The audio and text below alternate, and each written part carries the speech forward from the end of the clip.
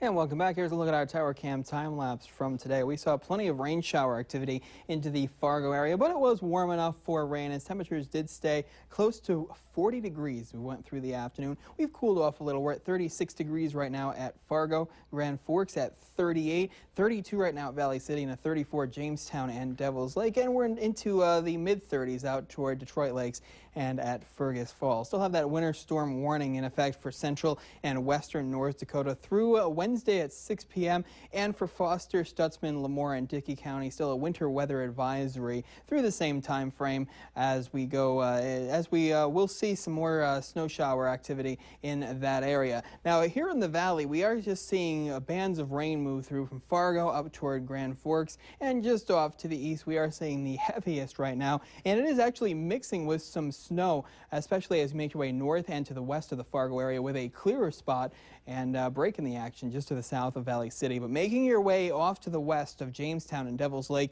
there's the accumulating snow and they could pick up several more inches out that way, especially as you make your way out toward the Bismarck and Minot area. This low pressure system is continuing to make its way through, still moving off to the northeast. We're still in the warm sector from it as it is still pumping in some warm air from the south. But on the cool side, they're seeing all that snow. The low pressure system will eventually make its way out of there. We're going to be on the cool side of the system, but the good news is it will get rid of most of its moisture by the time that does happen. So some snow showers are possible Wednesday and Thursday.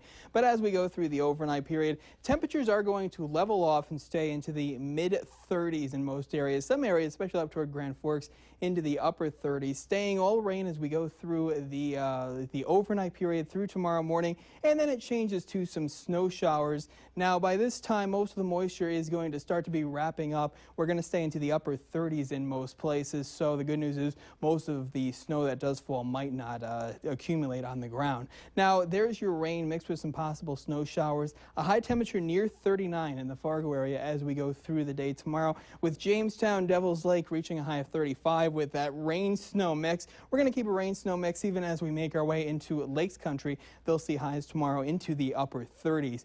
Then for the day on Wednesday, again, most of the moisture from the system is gone out there, but as you can see with the blue on the map, some scattered snow showers are possible, and temperatures will be a little cooler as we'll be into the low to mid 30s in most places. Taking a look at the snowfall accumulation out toward the Bismarck, Minot area. They could pick up 6 to 12 inches from this one.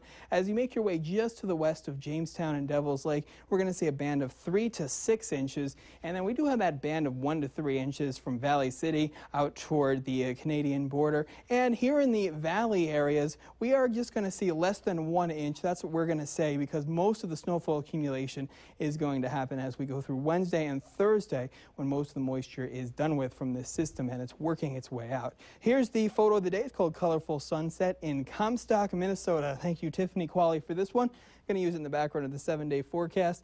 And we're going to stay into the upper 30s with that rain snow mix on Tuesday, turning to all snow showers, but it will be late for the day on Wednesday and early Thursday before we start to dry out. 34 year high on Thursday, 33 on Saturday. Uh, partly cloudy skies through Sunday. Temperatures back up into the upper 30s and 33 under mostly cloudy skies. We stay dry for the day on Monday. There we go. A nice dry weekend on Monday. Yeah, it looks good for the weekend if you don't mm -hmm. mind cooler air. Yes, exactly. This time mm -hmm. of year, you know, we just take what we get. Yep. Thank you. Mm -hmm.